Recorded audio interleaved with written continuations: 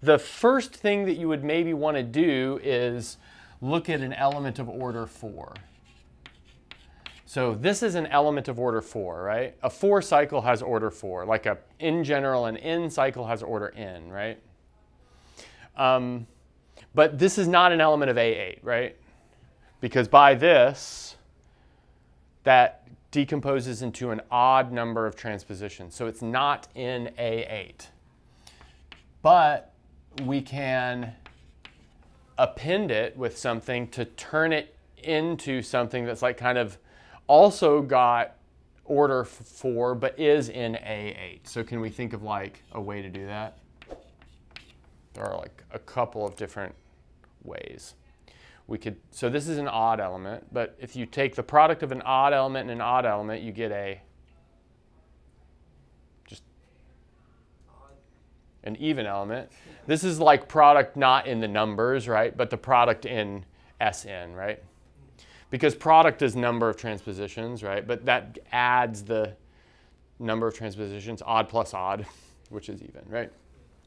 So if we multiply this combine this with another odd element, we get an even element. So what kind of odd element can we multiply this by to maintain its order 4-ness?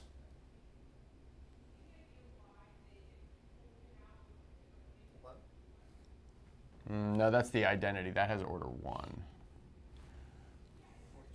What about like what about just a single transposition?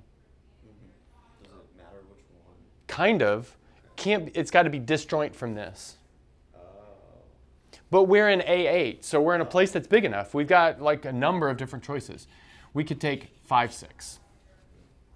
Right? So this has order 4, this has order 2. These are disjoint, and we know that anytime you have disjoint cycles, the order of the whole thing is the LCM of the length of the cycles, right?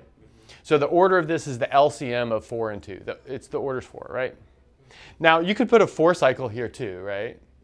And perhaps since this is A8, you know, we could do that. But we could just use a two cycle as well. All of this can be happening in, in A6, in fact. Um, so this is an element of A8. And like I said, it's order 4, but if it's order 4, it generates a cyclic subgroup of order 4. So let's generate that cyclic subgroup. So we got 1, 2, 3, 4, 5, 6 generating. So that's going to have the identity. That, so that's like this to the zero power. It's going to have one, two, three, four, five, six. That's like this to the first power, right? You know, if we were to, we were to like really spell out kind of what's going on here, maybe name this guy sigma, right? And then this one right here would be the sigma to the zero. This would be sigma to the one and then the next one will be sigma squared, and the last one will be sigma cubed. So what's sigma squared?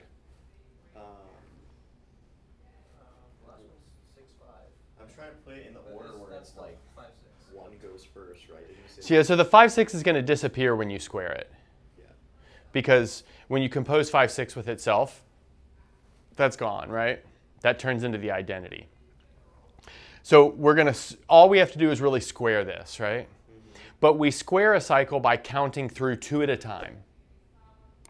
So we go one goes to three. Mm-hmm. So one goes to three.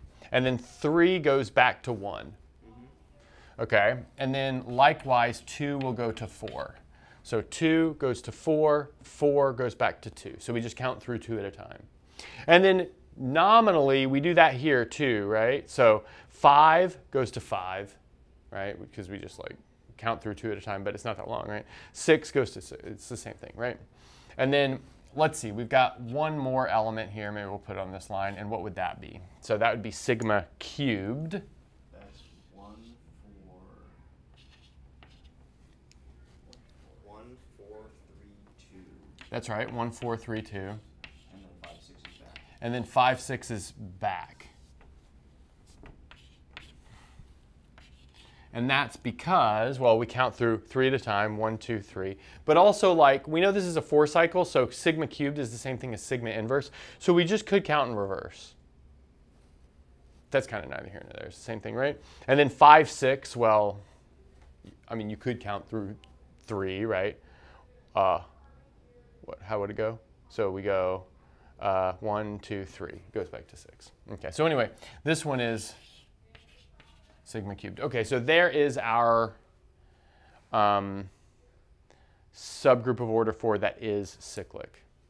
And then we could write down one that's not cyclic as well. There are a bunch of choices. I think maybe the lowest hanging fruit choice would be a, a, subgroup generated by the following two elements.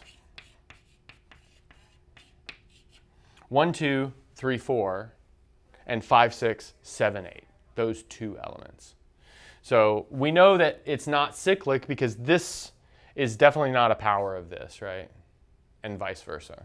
So we could rewrite this as, well, we've got the identity, we've got 1, 2, 3, 4, we've got 5, 6,